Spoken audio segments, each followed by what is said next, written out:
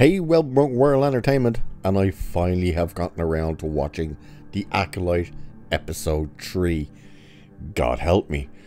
And I'm finally finished with the whole jury duty crap, which was boring as hell, but probably not as boring as this show. Now, you've probably all seen the clip already by now because everybody's been talking about it. The, of course, we're talking about the singing moment of the power of one, the power of two, the power of many. You know, this scene.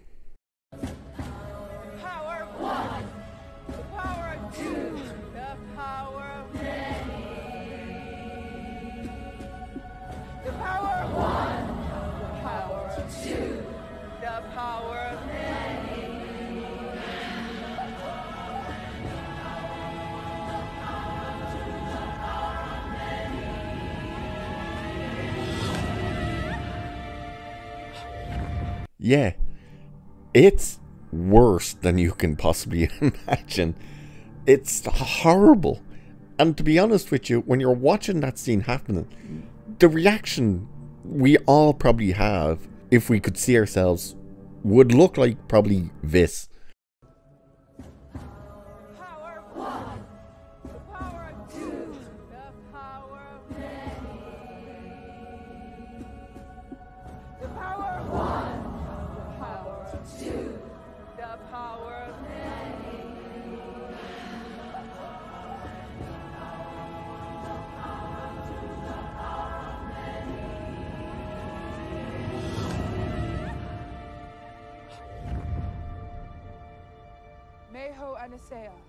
So, this episode is full of contradictions as well as subtle little messaging. It takes place 16 years before episode 1, obviously. Not Star Wars episode 1, the, um, the Acolyte's first episode, where we're seeing uh, Osha is her name, which I can remember now because I've literally only watched it, and they kept saying her name. And Mae, as kids, the two kids they got, look, they're kids. You can't really argue about their performances in terms of it not being up to standard, but at the same time, they are horrendous at acting. That being said, there's so much that's just ridiculous in this. Yes, they are space witch lesbians. That is all but confirmed. It's absolutely no men. This planet they went to to hide, basically, that they were getting basically persecuted for being witches. You know, they give little subtle hints in the dialogue that's kind of like, oh, this is kind of more talking about, you know, the alphabet community and whatnot. It's clear that's what they're talking about. Of course, they're meant to be talking about being witches, but it's very evident what they're ta- actually talking about. But they go to this planet and they're meant to be hiding. They don't want anyone to know that they're there. And yet they manage to build this gigantic fortress on a mountain for all to see that lights up and everything. You're like, yeah, way go to stay hidden there, folks. You know, don't don't uh, build something underground or something to stay hidden. No, no, no. Build it on the top of a goddamn mountain for all to see. And yes, the Force is now officially female. Only they don't refer to it as the Force, they call it the Fred. And not just do they call it a Fred and speak about it, what it is, it's the Force. They can visually make it appear. It, it's best that you just actually see what I'm talking about. This is them discussing the thread. All living things are connected by the same thread. A thread woven through all of existence. So you just see there how, oh, you're just like, good Christ. And what they're talking about and why they're talking about this with the kids is they want the kids to ascend to be witches, full, powerful witches. They're gonna do this big ceremony that they haven't done in uh, generations or something. They said, um, and Mae is super up for it. She can't wait. Osha doesn't want to be a witch at all. She does not want to commit to this. But then you also get a line in this about what they talk about with the Force. Like they're hinting, oh, some people call it the Force. And then she says something which immediately gets contradicted. So this is what she says. Some call it a force and claim to use it. But we know the thread is not a power you wield. Paul So you hear they think it's a power to be used, to be wielded and stuff. And she's like, that's not what it is at all. And she's talking about it binds us now. It, it's a very modern take on the Yoda conversation that what the Force is, how it binds us and it surrounds us and all this crap. But she says it's not a power that can be wielded, and then immediately does this to contradict that.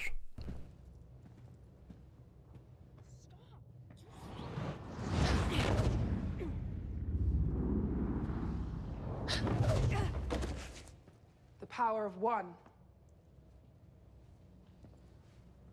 How exactly is it not a power to be wielded that you just then immediately turn around and used it as a power being wielded? Jesus Christ. So the Jedi come to the planet, they discover the girls, they actually ask the permission of the mother, who is the black one.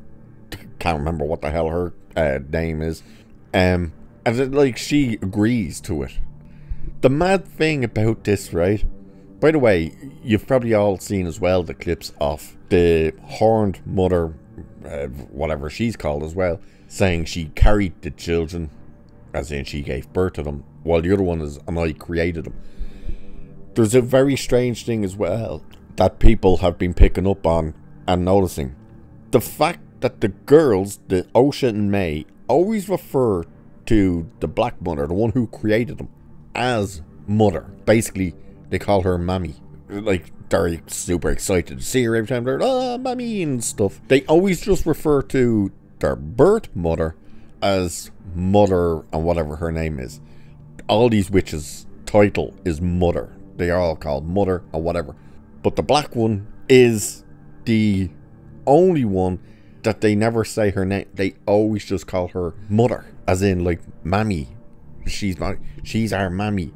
It's like that's so strange. Why did they make that choice? Very weird. Um, but Mae they convince the kids you have to lie, otherwise the Jedi will take you. And then, by the way, this entire episode they are trying to paint the Jedi as the villains. They're like modern Disney Star Wars really seems to be going out of the way to demonize and villainize the Jedi.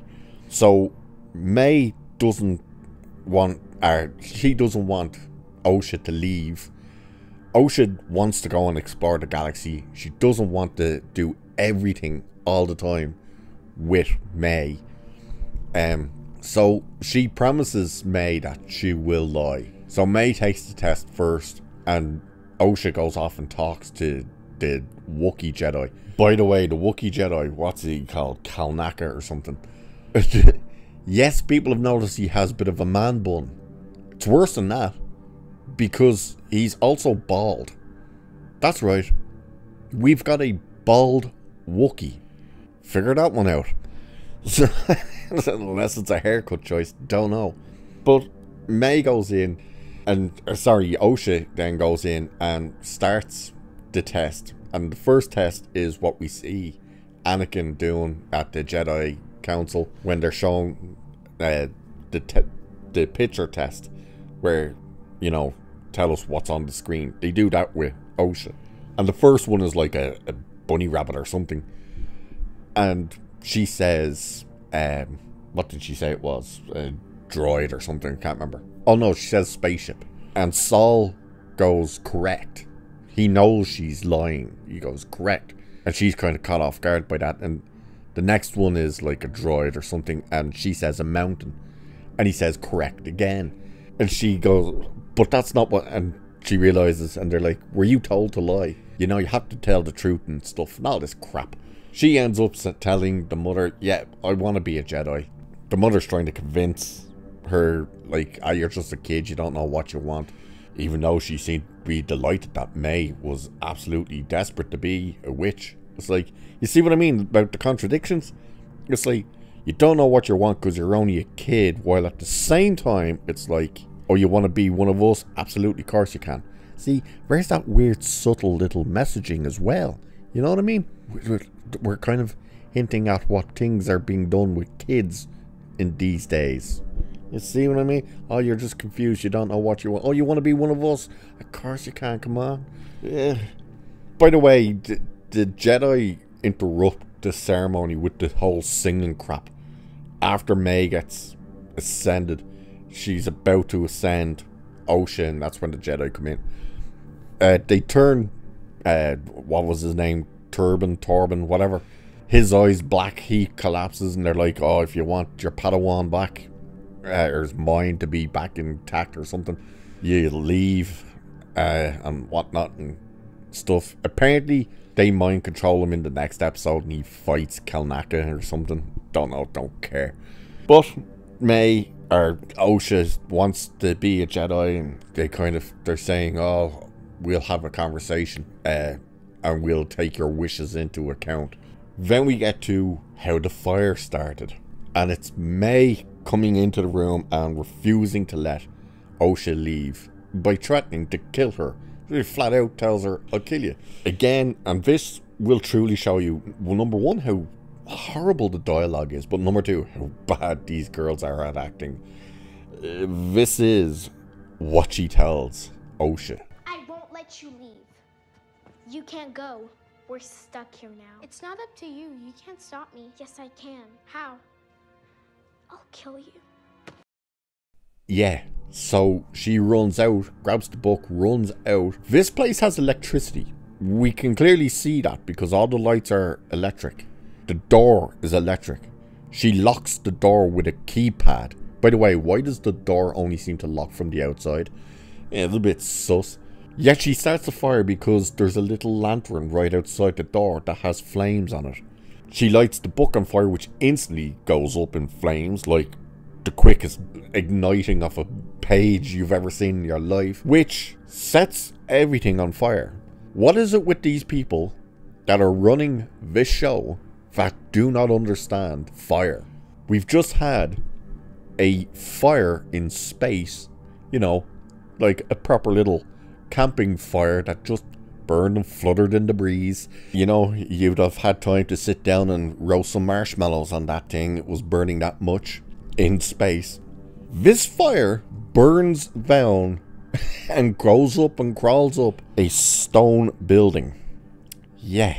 Not like materials on the walls or something like photos or, you know, curtains or something like that. Flammable material. No, the actual stone is going on fire. We can see it going across the floor, the concrete floor. It's like, wh why can't these people not understand how fire works? Uh, are they serious? So, Mae uh, runs off, obviously. Osha escapes the room she's locked in by hacking into. So, again, showing you there's electricity because she basically sparks a couple of wires, goes through a tunnel, ends up in a dark, like, computer core type place, which just so happens to explode right at that moment and take out one section of this bridge to where Osha and Mae come face to face and you get yet again some of the most horrendous dialogue because Mae started the fire. Mae has caused all this chaos. and Osha says to Mae, What did you do? And Mae's response is, What did you do? And you're like, What? Then the two bridges at the same time start to collapse. Sol comes running in, sees the part of the bridge with Mae on it fall and Mae fall. And then Osha's one collapses and he makes it in time to catch her. They leave. As they're leaving, you see all the witches dead. They're just lying on the ground dead. What happened to them? We don't know. But there doesn't seem to be any blaster burns on them, no saber burns on them, nothing like that even though it's clear they're trying to hint that the Jedi are do have done something or covered something up. They go off. Osha wakes up on the ship. She's like, Where am I? Where's Mother? And they're like, Yeah, they're all dead. We're going back to Coruscant. Blah, blah, blah. And then it ends with us seeing the reveal that dun dun dun Mae survived. Well, no shit, she survived. We've seen her in the first fucking episode, you morons. They're giving us this big reveal that she lived. It's like, we know she's lived. But the question now is, what happened to all the witches? How the hell did they die? Did Mae do that? Are they going to say the Jedi did it? Because what happened? Nothing seems to have happened in this episode that would warrant uh, Torbin to off himself in the previous episode. This show is dog shit. And as for the people defending it and the shields and whatnot, Jesus Christ, they must be some devoted window lickers. Truly. And I will have a video coming, probably on Monday, about this, uh, the shields and the media and stuff, attacking the fans as usual. But that's the review for episode 3 of uh, The Acolyte the Echo shite, more like it. Um, yeah, there's not really not much more to say about it. Oh, and I understand the fourth episode is just as bad, if not worse. And it's the episode we get to see all the Jedi in the forest lighting their lightsabers up.